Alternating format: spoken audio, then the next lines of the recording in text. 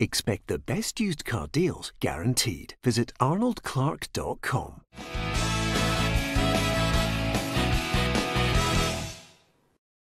Welcome to Peter and Roughie's Football Show, sponsored by Arnold Clark. I'm Peter Martin. Thank you very much for joining us on the programme. And I can tell you we've got a stellar cast for you in the studio today. Alan Rough, Alison McConnell, and Murdo MacLeod, just to add a little bit of bite to the midfield. So we've got lots to look forward to, and we've got lots to talk about, including, of course, Scotland.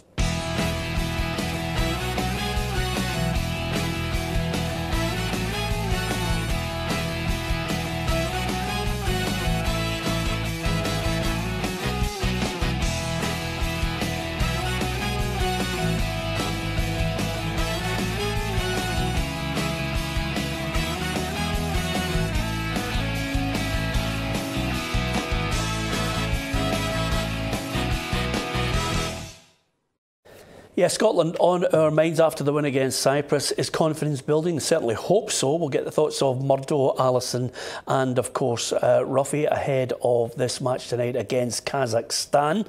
Um, first and foremost, let's uh, find out about the build up to that game from our reporter Gabriel Antoniazzi. Tonight is the final Euro 2020 qualifier for Scotland. They play Kazakhstan in their last game of 2019 as well. Now, Steve Clarke is looking to make it three wins in a row for the first time as Scotland manager. And if he can avoid defeat, then Scotland will finish third in their group, which in the end may matter little. But a thing that may matter is getting revenge for some of the Scottish players. Of course, the opening Euro 2020 qualifier was a 3 0 humiliation in Astana that ultimately spelled the end for previous incumbent Alex McLeish. However, Clarke himself says he is not too focused on exacting revenge over the Kazakhs. He just wants to win the game. For me, football's never about revenge. It's all about the game coming up. Uh, what happened before happened before. We we want to finish the the campaign on a positive for ourselves. We want to finish third in the in the section, which is the best we can do now, and, and that's what we'll be focusing on. Now, as I said, the result itself may not matter too little as long as Scotland avoid defeat, but it is the last game before March's Euro 2020 playoffs here at Hampden. The semi-finalists the opponents are not known yet, we'll find out on Friday after the draw, but it is the last chance for players to impress Clarke and give themselves a real opportunity in starting what is Scotland's biggest game in 15 years. So make sure you tune in, kick off from Hampden Park, 7.45. Well, let's hope uh, things hot up at Hampden. It'll certainly help uh, Gabriel's nose, uh, Roughie, because he looked uh, getting cold out there, didn't he? Yeah, he certainly did, but uh, he, he's braved the weather. Uh, good luck to him.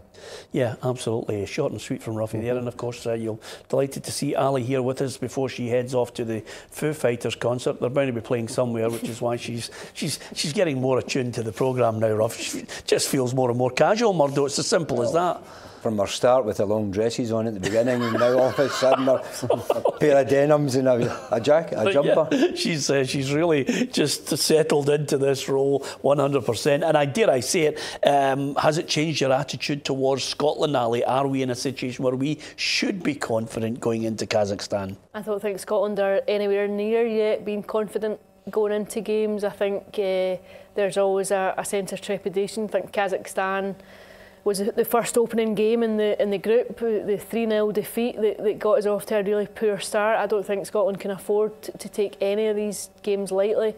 I think crucially what you're looking for here is a tiny bit of momentum, just something to build on from the weekend and, and to look forward to March. But I think it, it's a difficult ask tonight. I don't think uh, a, a win would be straightforward. Uh, if I'm being honest, I think a draw might be the best that Scotland can come out with. I, I just don't I, I don't think it's an easy evening at all and I think it's not helped by the fact that there's a real apathy around the game given the where Scotland are in the group and the fact that Hampden will be quiet. I think it'll be it'll be empty. I think there'll be vast spaces, empty spaces around the stadium. I don't think the atmosphere will be particularly good, and I don't think that helps the team either. Yeah, you, you know, having listened to you there, Ali, you've put me on a complete downer about Scotland again. I was, I was just getting lifted from the weekend. Murdo, give, give me even a modicum of hope right. about this because you've, you've played for your country. Is there anything we can? I, I mean, Ali thinks draw. I don't know. I, I don't know what uh, gives me a sense that we might be able to nick something. I think because in old school, you, you're kind of looking in Kazakhstan, you're thinking, oh, we've got to beat Kazakhstan. We're at Hampden. And I think, and it's this game, and then the qualifiers coming in next. So all of a sudden, you're looking at it, you've got to turn up tonight. The boys have got to turn up. I know it's, it's difficult for them. They've got to turn up, get a result tonight, two results back to back, and that'll give us a wee bit of momentum going into the, the qualifiers. And I think it's so important they've got to play tonight. Well, here's the question, uh, Roughie. As you see the I mean, this is just a possible lineup. He mm-hmm. could change anything because he's obviously going to try and look at people. Does he stick with certain elements of tried and trusted? I mean, De- Gallagher could be in there for, Mc- mm-hmm. you know, for Devlin and stick with McKenna, Taylor, Palmer. You know, I'm looking at the middle of the park. Does he throw Kenny McLeod in there? Will he stick with Naismith up front? He's got to stick with Christie surely because he scored a cracker at the weekend. Yeah, that, that's my major problem, and it's no fault of the manager. Uh, I thought in this game we might maybe see nine or ten players in a team that he wants to be there. You know, I don't think we're anywhere near that. I think uh, in the weekend there, I thought maybe six or seven would be starters. Yeah. Uh, we don't have a striker. He obviously doesn't know who his two best centre halves are. Obviously, the full backs will come back in. For me, the only positive just now is uh, is McGinn, McGregor, you know, Christie. You know, yeah. definites. You know, they they are the the engine in the team just now. I really do. I really do hope for the players and the manager we get a win tonight. I, I think supporters being supporters grab onto. Yeah. We we were not hysterical at the weekend because we beat Cyprus two one. In, in all reality, it should have been two each you know, but we're grabbing a hold, we're grabbing a hold of anything now and going, this is it, this is the way forward. But I don't think we're anywhere near it yet. I think the big thing as well, Peter, a lot of people will be thinking use his whole squad. I don't think so. I think he should be using the players that he wants to be. It's like a, your first team. Yeah. Every manager wants to have the best 11 starting every Saturday and have them fit and play all the time for the, your national team as well, it's the same. You want the best players to be involved and you want your best players to play well tonight. And if we can do that, just what Alan's saying, you've got seven or eight players there. They'll be starting in the qualifiers and we've got three or four spaces for someone, the players that's going to just impress them over the next few months. Yeah, I, am with you on it, Murdo. I, I think, you know, the, the one thing about, I mean, I, I can even remember as being critical of Craig Brown's Scotland side.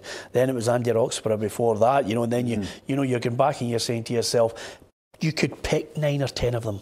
Yeah. The others had to try and force their way in. Craig Brown had it like a club side, so you knew ten or eleven of them were, you know, ten were Stonewall certainties, Ali, and then as Murdo's just mentioned there, someone forced their way into the reckoning.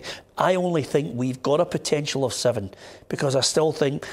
As, Murd, uh, as Roughie said, the, the central defence is still up for grabs. I we ain't got a striker. The rest of it, I'm, you know, I'm starting to look and say Palmer, okay, I can, you know, that's that's good. Robertson's going to come back in. Tierney's going to. For me, Tierney will play left of center mm-hmm. mm-hmm. when he comes back. Robertson will play left back. Yep. And I and I suggest that because having discussed it with Steve Clarke, that's what he feels as if is going to happen, unless someone tells him, you know, unless someone forces his hand. I think ultimately what you need are your best players. I don't think you can afford to leave good players out, players who are playing at the, the very, very top level. I think it's what Scotland are crying out for. Players who are exposed to that standard of football every week. I think you have to find a way to accommodate both of them, whether that's playing Tierney as a left centre back yeah. and Robertson as a, as a left back, or whether he'll, he'll not play him at right back because Tierney has already wasted. said to him, yeah. "Don't play me left, don't, don't play yeah. me right back, Gaffer, because it will kill me." It's, it's, it's, it's always a, a difficult one though. See, see the likes of Tierney who's played left back but ran the full left side. Yeah. That's his that's what he that's he thinks that's his job. Yeah. But all of a sudden then he's in the middle of the park. It's more difficult, much more difficult for him to actually know where his run's going to be because yeah. he'll be thinking, oh, I've got to get further back, but he doesn't need to get further back. What then do we all do, of a sudden, Murdo? What do we do? It's, it's really difficult. I think it is a difficult choice. No, that Tierney at some point maybe could go in and play left centre back or something like that. Yeah, he's definitely. He's, I mean, he's done it before. He's definitely going to play. If, if everybody's fit, he'll play him left centre back. Yeah. I mean, that's what I had. I had a so chat with him, and he said yeah. that's the option because the boy doesn't want to play right back. Yeah, he can't play right back. Peter, are you, then, are you talking about three at the back? No. Three at the back. No. Four at the back. Four at the back with Robertson as left centre.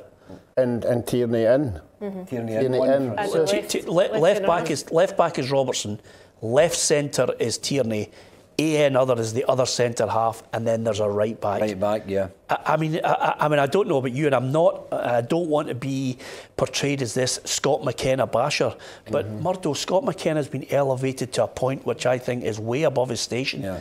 You know, you've, you've got to achieve something in all the games, and that's has not happened up to now. So he's got to show the manager if he's playing tonight. Got to show the manager that he's going to be one of the centre backs.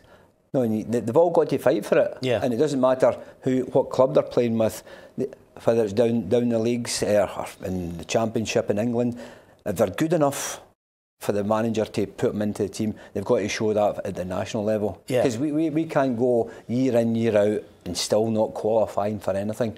Now we've got an opportunity coming up in March, and if we can achieve something, and if we're ready for that games at the time, Peter, that would be fantastic for Scottish football if we can uh, uh, qualify. If there's a choice between Scott McKenna at centre half or Kieran Tierney, I'm picking Kieran Tierney all day long, Ali. Me too. Me no, too. And to be I fair, I'm going to disagree with both of no, you. Uh, just, uh, you. You won't get away with that against Norway and Serbia. Uh, Kieran Tierney playing centre half with the quality of players that they've got. He's not a defender. R- Roughie, he's not a defender. Roughie, we have a boy. We have a boy at Aberdeen are saying are suggesting he's a five or seven million pound player. In yeah. fact, Aberdeen are suggesting he's more than that. Uh, uh, for me, he's making mistakes and he's getting caught mm-hmm. out. And, and I think Scott Tierney has no proof to anybody he can play in a, in a defensive situation. Well, give me he's a better attacking give, fullback. I know absolutely, but the, what we're trying to do is we're trying to put a square peg in a round hole yeah. because the two of them are that good that you can't. To, you've, you've got, got, to play them. them. I think surely you've got to play a, a, player who plays that position. I can position. understand that argument with you, Roughie, but no. I just think you know we're looking at Kazakhstan tonight. We're thinking okay, uh, we've got to be better than what we were against them uh, the yeah, last time. We lost 3 nothing. They were all over the place. And again, we lost goals. And if you look at Scotland losing goals, it's set pieces or right down the middle of the defence. The two guys at the centre half position are the well, problem. It was the same at the weekend. Cyprus a ball into That's the box, wasn't it? But Even the for me, Kieran Tierney's not, not a, yep. a, a centre half who's going to go and win headers. But Alan, modern day football players it's not all about being six foot mm. four and going winning. Because how many times you see the guys at six foot four, six foot five, and mm. they're in the wrong positions. So it doesn't make, make them a better centre half. If, if yeah, they're, they're not think, getting the ball. Yeah, so someone like Tierney, who's a wee bit smaller than the other guys, he's, he's strong, he's quick, and I think that's the most important thing. You've got to be quick to play against international players because, as you know, Alan, the, the speed is a lot quicker at international level than is at club level. All I'm saying I would rather a centre half established himself oh. mm-hmm. uh, rather than taking the best out of Tierney. Yeah, Roughie, I would rather we'd, uh, if we've got one. Uh, uh somebody tell me where he is because we ain't got one at the mm. moment. Yeah. Um, I think he's got a way to go. I'm not saying Scott McKenna will not be a better centre half mm-hmm. in the mm-hmm. future. He will be, but he's still suspect. And I think that's that's you know that's evident when you look at him. And at the weekend against Cyprus, there were two or three times when I thought to myself, you can talk him up all you want. There are there are gaps here which he's got to go through a learning curve. Um, okay, let's fingers crossed um, that we can get something from it. Just out of curiosity, Ali thinks at best a draw. Murdo, are you going edging towards maybe? Maybe a win? I'm looking at uh, 2 nothing. Yeah, I'm 2 nothing as well. I think we're good enough. Yeah, okay, I'm going to go 1 nothing because I've never have Scotland apart, no from the, apart from the weekend. We've, got, we've got no strikers, and you're looking, you're saying, oh, who's going to score the goals? Um, if Christie comes up with another peach, maybe a John McGinn yeah. getting further forward, great. Um, here's hoping. Um, just before we switch our attention to Hibs, we'll hear more from uh, the new Hibs boss, Ross Jack, and Graeme Mathie, the director of football, on the way ahead uh, at the Hibbies. Um, let's find out who has won the uh, top, the Celtic away top, signed by Kevin Bridges.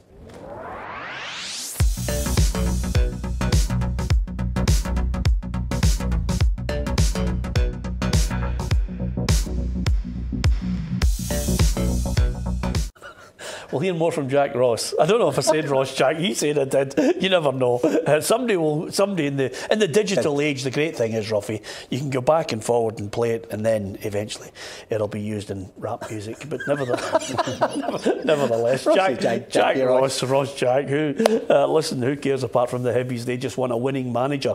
Um, have they got one? Well, uh, some people are questioning his record at Sunderland. Uh, Jack Ross himself uh, believes he's a better manager manager for the experience?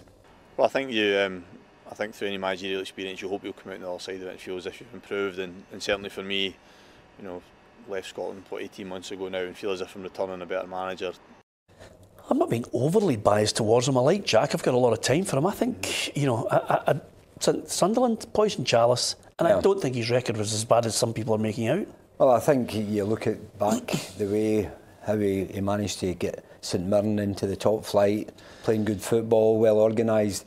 And Sunderland's a club, it's so many top managers have already been there and it's, they've been dropping down all the time and it's, it was a difficult job for him. But I think as soon as I heard that Heckingbottom was away, that I said right away that he would get the job. Yeah. Because I just felt he's looking for a job, he's well organised, well respected, and I think that's that takes an awful lot in modern day football. If you're well respected, the players will play for you. Yeah, and Leanne Dempster pointed out yesterday, Ali, uh, his win ratio was good at Sunderland. Did he did he get them up?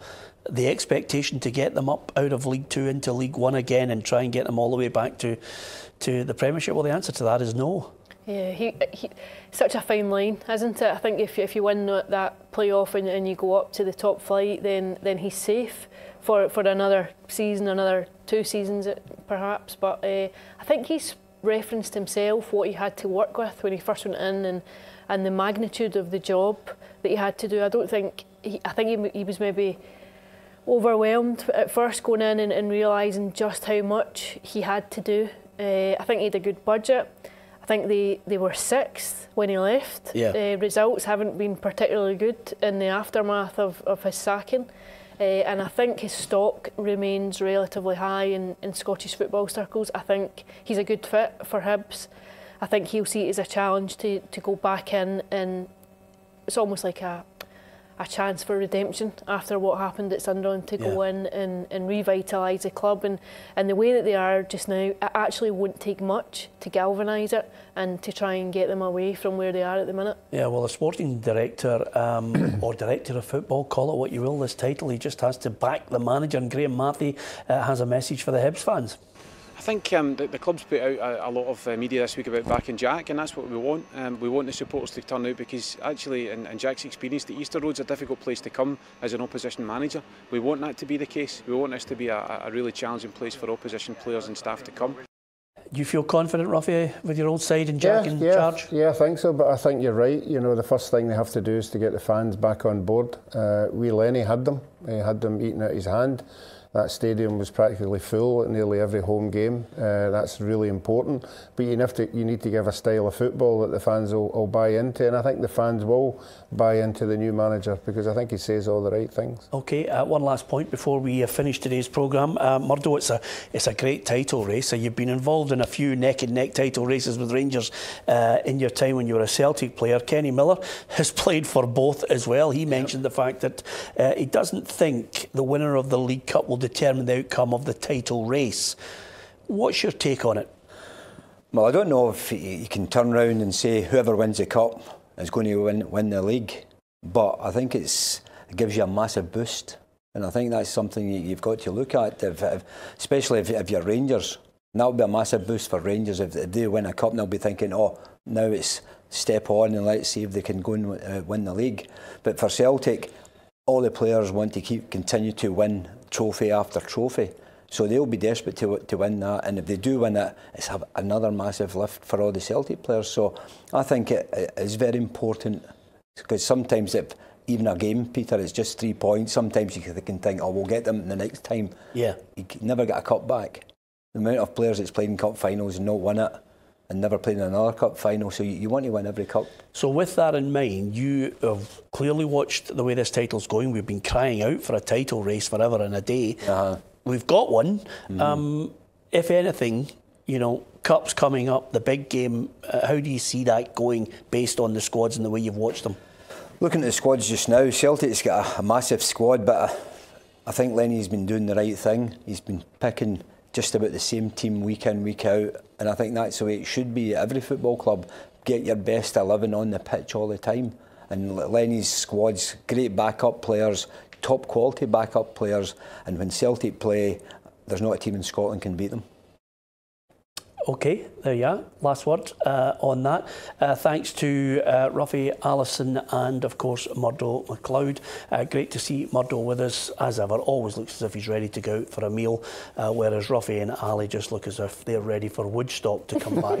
um, I'm going to nah, nah. I'm ah, stop making excuses. Uh, anyway, great to have Ali and Roughie with us as well. You can you can give us your comments not on what they're wearing, but uh, actually on the football uh, right across all our social media channels uh, Twitter, Facebook, Facebook Live as well, uh, and also on our YouTube channel. And don't forget, if you get a chance, we're on episode two of our podcast, uh, which we launched last week. Roughie, Tam Cowan, and myself, and our special guest uh, on Friday will be Murdo. He'll be reflecting on his career at World Cups. It's great to have someone who can actually talk World Cups with Roughie, and also his football career, Scotland and in Germany as well. There's more than a few laughs for you on our new podcast. Spread the word on that. Uh, and don't forget, uh, you can join us on the YouTube channel. Hopefully, you will subscribe. From Roughie, from Alison, and of course, uh, from Murdo MacLeod and myself, Peter Martin. Thanks for watching.